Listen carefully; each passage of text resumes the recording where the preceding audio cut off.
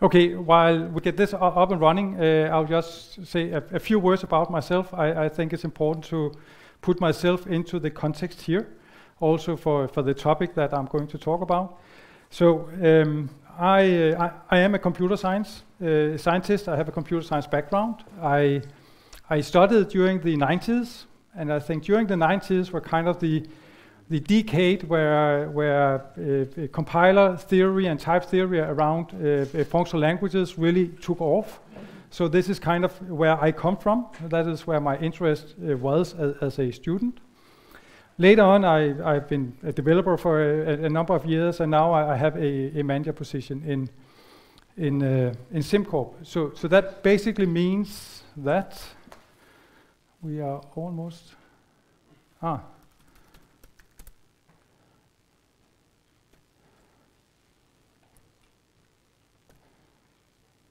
So here we go. So, so that, that means that um, I, I, it's very easy for me to appreciate APL. It's very easy for me to, to see why APL is appreciated and used in SimCorp. And what I will try to do now is to make a, the topic a little bit different, probably a lot different from the topics I have listened to today. Uh, and that is, I, I will try to bring on the business value why are we in SimCorp using APL? In the end, when, when, when you as a company will decide, are we going to use F Sharp or C Sharp or APL or whatever we are going to use, what is actually driving these decisions? And I think with that angle, we can also probably get a little bit of, of uh, understanding, maybe open questions around what is APL in the future. Um, so that's kind of the, the angle here. So there will not be a lot of, of uh, APL details, technical details. So, so in that way, this presentation will be, be different. So I have just a little bit about SimCorp because it's important for the, for, for the, the context that I will talk about. And also the people, because that's also important for us of why we're actually using APL. And then I don't think we can avoid having a little bit of, of insight into what is the product dimension. We have one kind of software product that is relevant here. How does that look like from a very high distance uh, uh, point of view? And then a little bit about what about APL going forward, seen from this business, uh, business perspective. So that, that's what I will try to do. I hope you will stay with, with the idea to be not that technical. So SimCorp I think what is important to understand is that we are 250 developers working on APL. Our development department is bigger, so, so it's, it's more like 450 people that brings our software together on a daily basis. So, so th this is how it is. Th that is our daily day. What we also do is that we actually ship our product twice a year. So twice a year, 450 people designs, now we are done. Now it works. Let's ship it. So, so that's kind of the, the, the, the rumble we have. And then we are around the world. We are, uh, we are in the investment management area. Um, uh, and yeah, and our software is used to manage quite a bit of, of money around. So, um, and, and I, I, think this uh, number of users is, is interesting. So we are, there are users out there that depend on APL on a daily basis. What is happening here? Um, and what is also important to understand is that our code base is, is fairly old. Uh, and for us, I mean, we are talking about software that lasts for a long time. If you trade a bond that, that have to survive 30 years, well, then you need code support for that in 30 years. Of course, you can change it as you go, but basically we are in the business where code survives for a long time. So I think that that's kind of uh, important to understand. Then, when we talk about developers, who are they? What, what, what, what is the background? And for us, of course, we do have people with a computer science background. We are a software company, so yes, we do have people with a computer science background. But we also have people with so many other different backgrounds, like math and physics, statistics, I've, I've mentioned here, because a lot of math goes into the financial world. That's just how it is. Finance, how do you trade a bond in Singapore, or uh, all the practicalities around actually doing this stuff is, is extremely important. So, so one of the the reasons that I think it's, it's, interesting to go to work at SimCorp every day is that we, we are developing a product where you can't just sit down and then you as one person solve the problem. I mean, you do depend on the, the, the other comp uh, competences around. And that again goes back to the programming language. Do we have a programming language where these different competences can actually be brought together and work on the same piece of software? Um, and just to, it's kind of a, an, an, just a, a, side note here, but, but what we're also doing uh, these days is that we are going agile and everyone have talked about, yes, a team, they can work like a scrum and you have this process on steroids where you work for two weeks and then you're done with a little bit piece of work and then you move on. We try to scale that to, to these uh, many hundreds of people. And that also puts some kind of, of, of pressure on, on, on, the different programming languages we're using because it basically means that code are floating through the system extremely fast, at least compared to where we came from. Anyways, um, so APL is really uh, what, what kind of glues this together, seen from a competence point of view. We can, we can, we can all get into APL without a very, very long in introduction to this with these different backgrounds.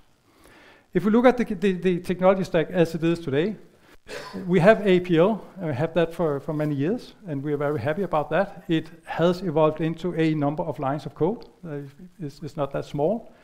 We introduced C Sharp, uh, and uh, at, at, at uh, like a little bit more than 10 years ago, we have loads of C Sharp, and I think these numbers just count about how how much code do you actually need to write in C Sharp in order to get something done. Um, we also have a bunch of very low component kind of stuff, so we are also in the absolutely in the in the native world with C++ and C and stuff like that. And then something like OCaml. How did OCaml get in to in our product stack? And that's basically because we uh, we we uh, we use a a contract language for for financial contracts, but that's a completely different story the, the whole point here is just to say that we are not only APL. We are also a company that have made other technology choices along the way. So it's actually technologies that have to work together that, that, that we are facing here. And the list is longer than this, but, but this is kind of the important part of this. And then um, third-party libraries, we have many of different subcontractors uh, producing libraries that we also use. And then this kind of figure here over, here just kind of says that we are in the, I actually think we have more software, more lines of code than a Boeing 787 uh, airplane has. We're a little bit less than Firefox, and then one can think about that. Anyway, long-lived code is important to understand. We are not throwing code in, in the garbage can. We are maintaining it, but we are not throwing it in the garbage can. So APL, yes, it is a language where we can get started even though uh, when we are not a computer scientist. That's kind of the experience we have. We of course do the training ourselves, uh, but, but that works pretty well. The reason for the for C Sharp was that at the time we uh, we would like to to have kind of a uh, a more modern and, and modern is kind of a weird word here, but we would like to have a user interface that was a little bit different in the sense that it should be uh, much more threaded. We should have so many different things going on at the same time. And here we are talking about front office users, the users that sit and, and make the decisions about what they are they going to buy and sell. Uh, so that was kind of the driver for, for that uh, decision. And it's absolutely uh, not a, a, a, cheap decision uh, to do. And then I have to talk about the OCaml thing. So now we are also, and this is why we have a, a phone, we're actually now also having a, offering a, a, um, a small app for the phone that integrates with our system. So now we are, we are also talking about going into this web stack.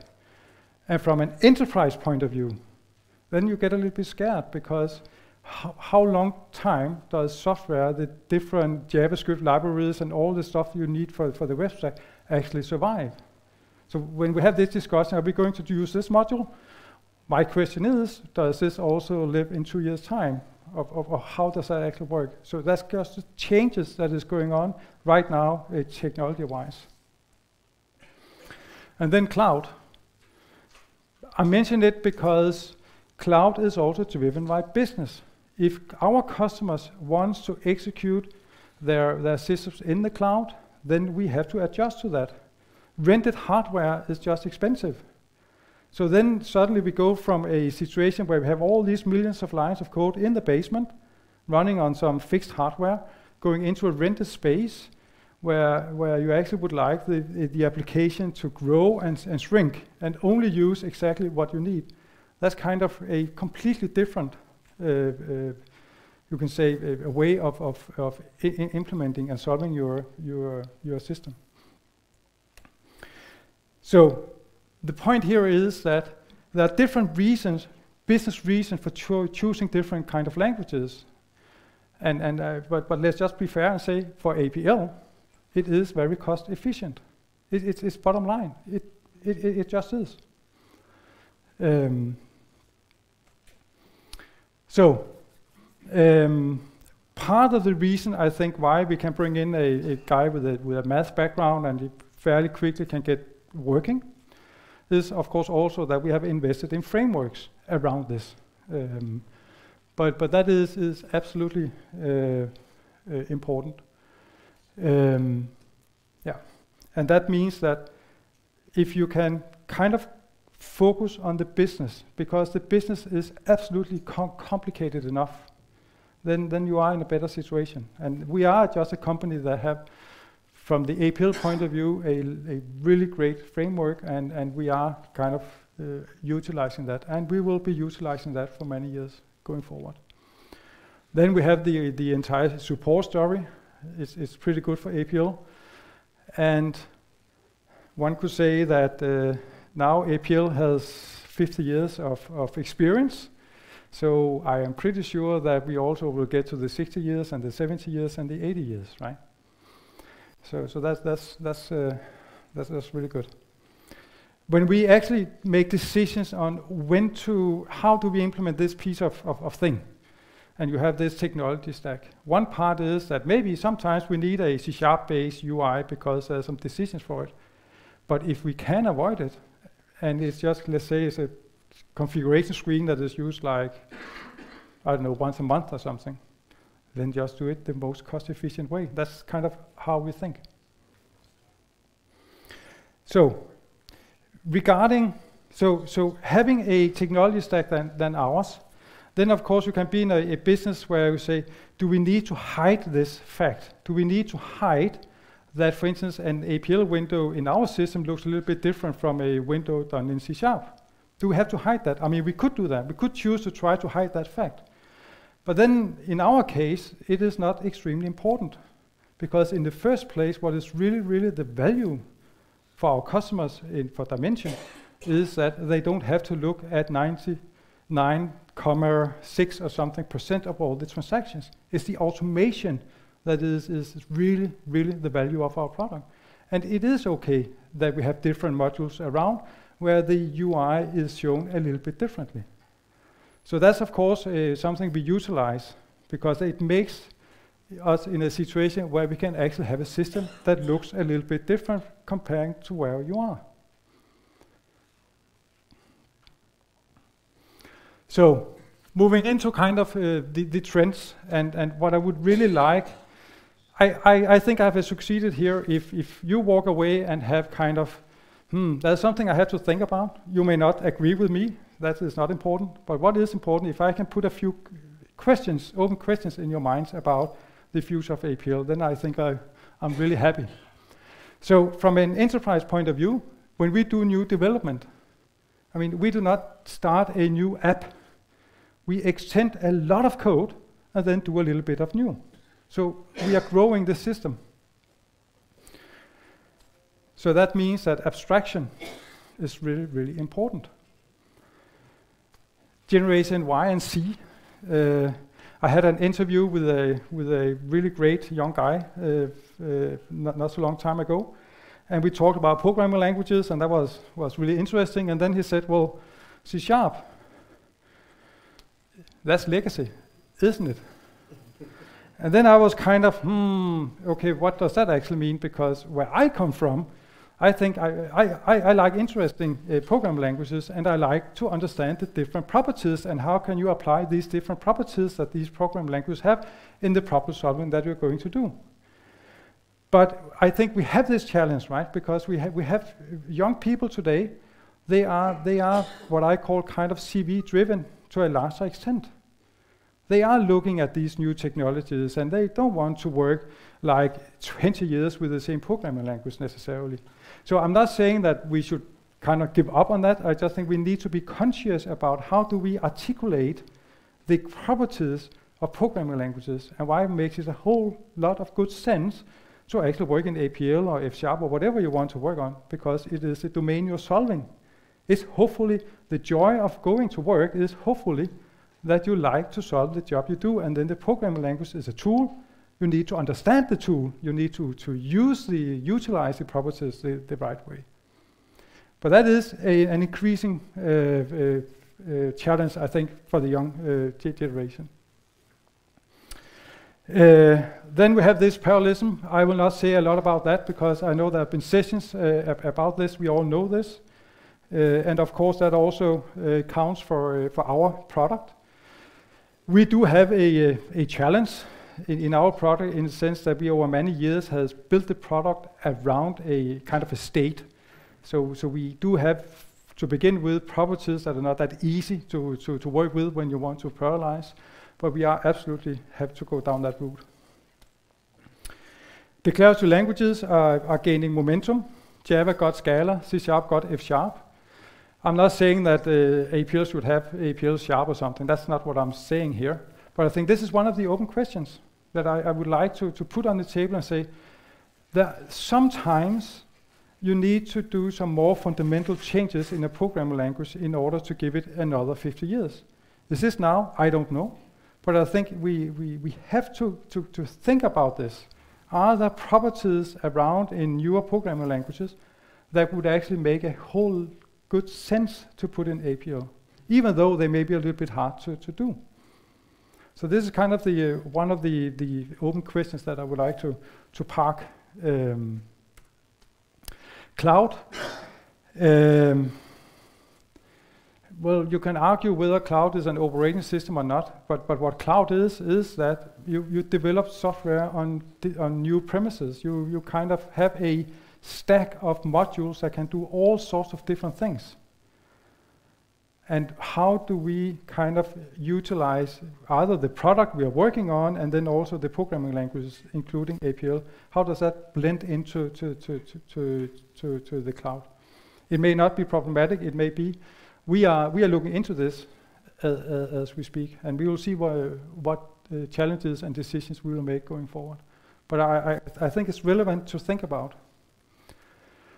Static site type safety, it has been on the agenda uh, a couple of times here. Uh, Dyalog 14, there is a presentation by Anders Schack Nielsen uh, about what we have done in, in SimCorp in this area.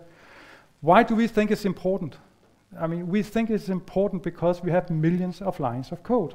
And we have all these people that go around and, and do changes on a daily basis.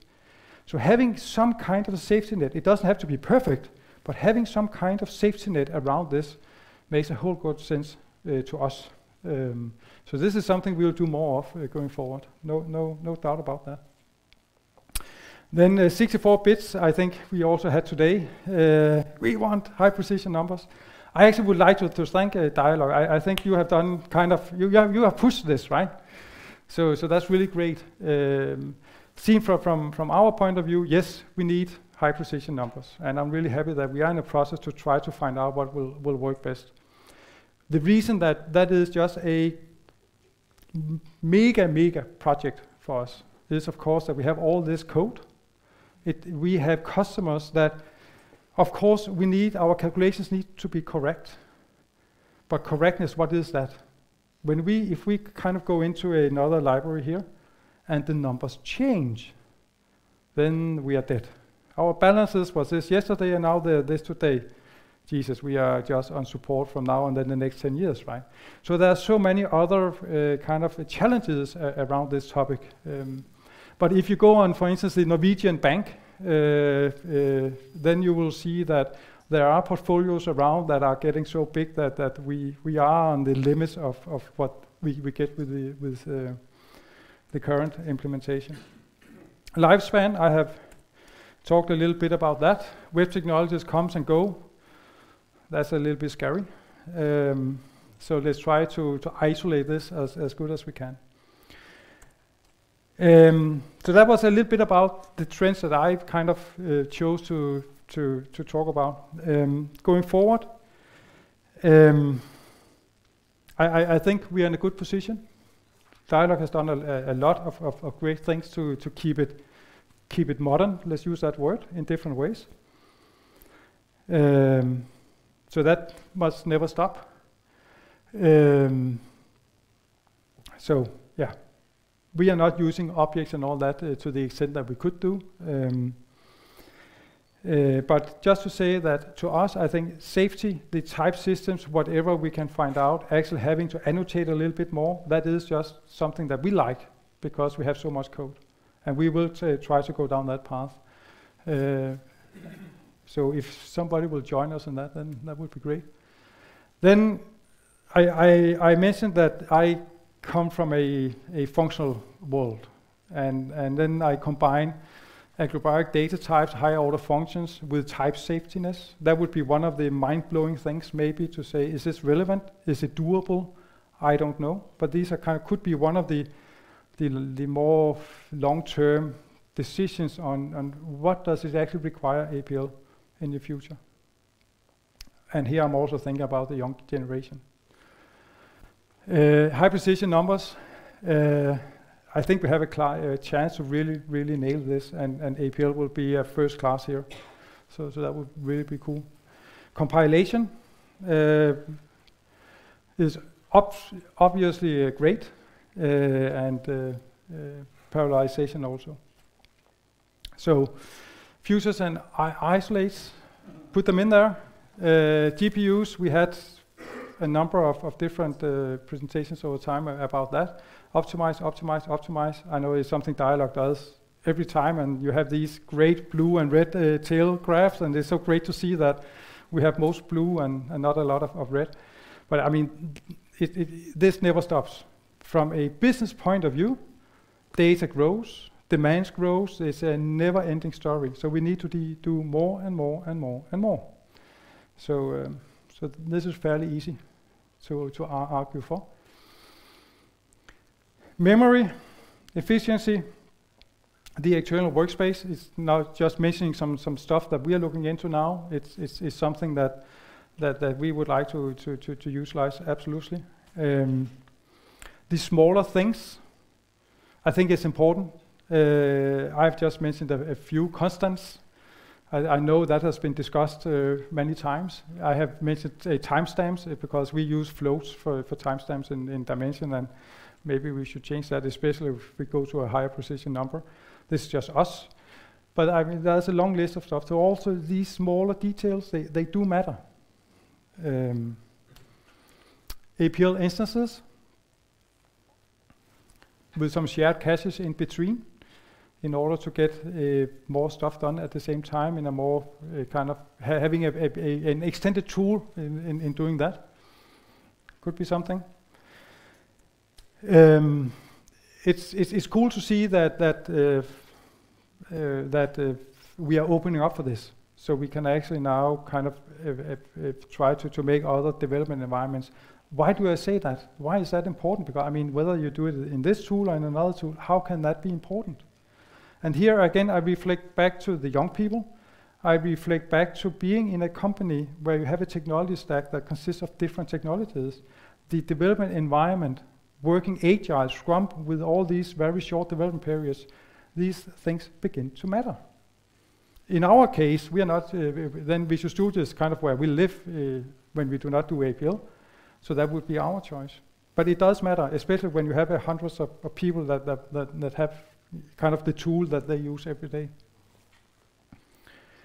Uh, cloud, elasticity and service orientation. I don't know.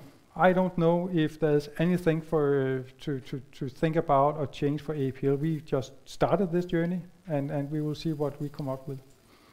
Um, so I think my my end remark here is that Dyalog APL is a great tool of, of thought. It's not my invention. It's, some, it's, it's something I heard from from uh, from uh, one of my colleagues, but I think it's spot on.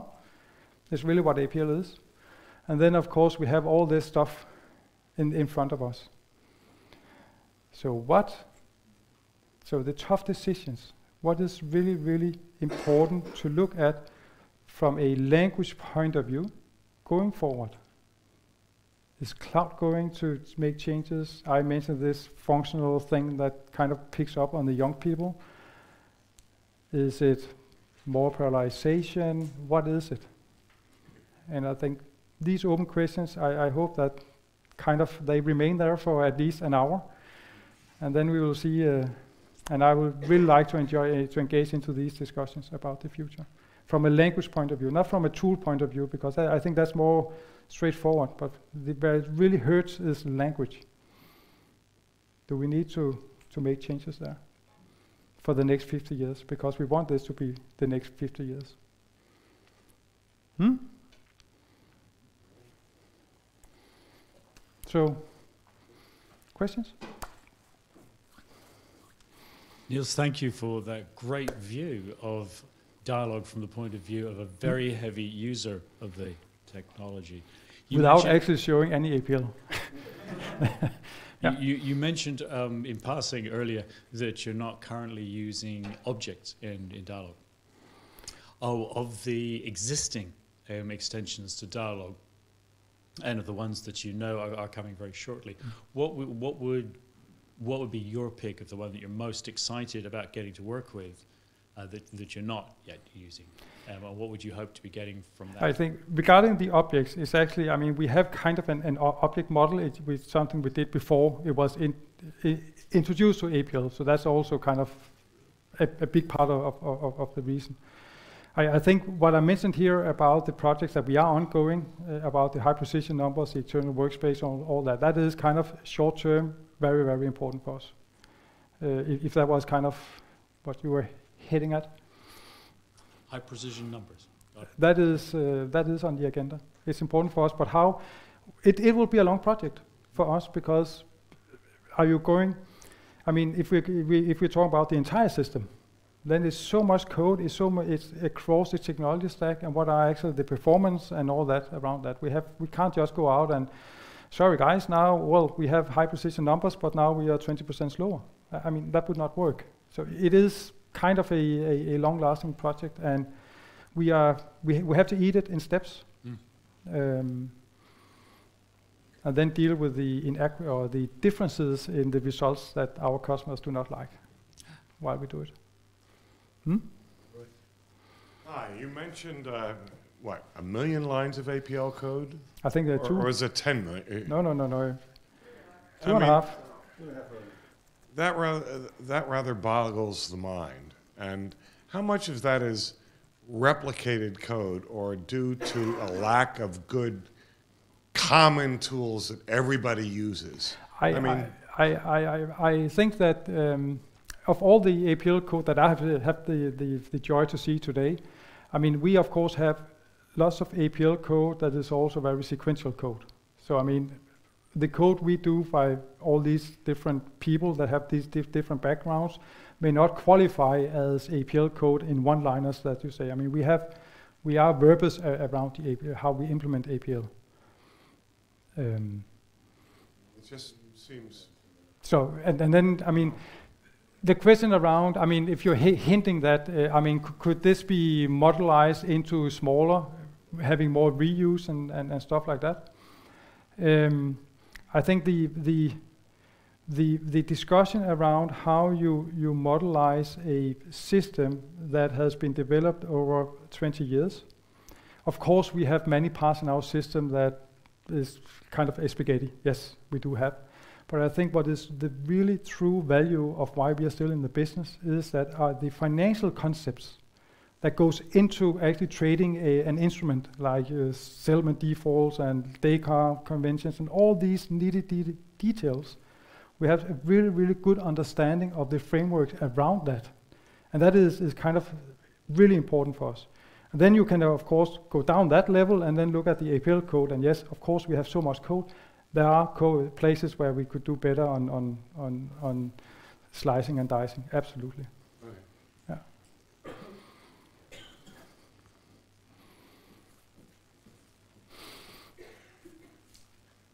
It's really interesting to see the considerations you're having on the technology stack going forward. That's one part of it. The other part, as you briefly mentioned, is finding the right kind of people mm. who can help you to make this live for the next 20 or 50 years. Mm. Um, and young people, they are taken up by new languages that come up Python, Java, you name it. They sort of want to jump from one thing to the other. Um, I know that SimCorp has implemented a very unique way of introducing young people into your technology and also to try and make sure that you retain them. Could you mm. share with uh, the rest of the audience uh, what you actually do when somebody comes on board and joins SimCorp? Yes, yes, uh, absolutely. I think it is not easy. I mean, uh, when you have these interviews, and the one I referred to where he said, well, C Sharp is legacy, well, how do you then kind of start with APL? But I, I think the what, what to actually get people interested, I think what, what we have learned to do and, and appreciate is that we begin to talk about the properties of the language and we mix that with the domain because we would really like people to be interested in the domain because that is what they're going to work with. So, so trying to get them out of this uh, CV-driven kind of thinking and then into, well, isn't it really important that you like the financial world? You don't have to be an expert, but you need to understand what a stock or an option is because you're going to use a lot of time on that. So, so that's kind of, of, of going below and talk about properties of languages instead of just headlines. That is kind of one, one way uh, to actually get them interested. Then when, when we have uh, uh, people starting, um, there is a fairly long introduction. Um, and and it, it starts with our product. The three weeks of of courses where you basically learn the front office, middle office, back office parts, and you get the same training as our consultants that are going out and installing this. So it's, it's kind of a heavy course, and you are a developer. So, but but it's again to say, well, yes, you are going to develop, but what are we? What is this kind of a system? Get into to that, and then we, we start a process around if it's an APL uh, developer. Well, then then we of course have the the uh, the training book, and we have uh, courses in frameworks and so forth, and we have uh, people that in the team that will support you and in, in, in, in, get going. So so it's, it's, it's, it's actually nice because we are able to do it, but also because we are forced to do it, that we actually take responsibility for this training ourselves. I actually think it's, it's, it's, uh, it, it, it, it's, it's good that we are, we are doing it, but we don't really have the choice. Uh, but I, I think it brings people on on a better way because we kind of just decide that. The cost of that is, is, I think, is low compared to the fact that you actually get people in with the articulation that, that you as a company want to, to, to, to put in the process. So, um, so that's what we do. For, for C Sharp, it's a little bit different because then um, they have the background uh, from the university and then it's more about the framework. For APL, it's a little bit longer process. But I actually like we do it because we, yeah, we, uh, we, we tell our story around this. Hmm? Niels, thank you very much. Can we have a big hand for Niels? Thank you.